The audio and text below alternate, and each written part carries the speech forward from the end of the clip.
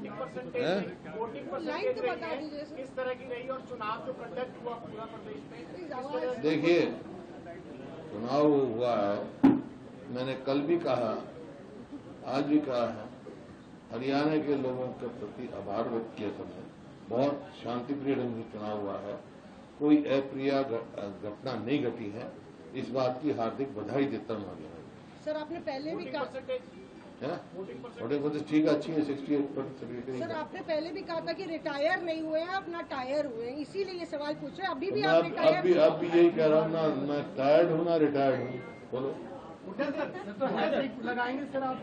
तो हैट्रिक लगाने को तैयार है नौजवानों को मौका देंगे क्या? सर हैट्रिक लगाने को तैयार है या टायर रिटायर्ड नहीं है? मैं क्या लगता हूँ आप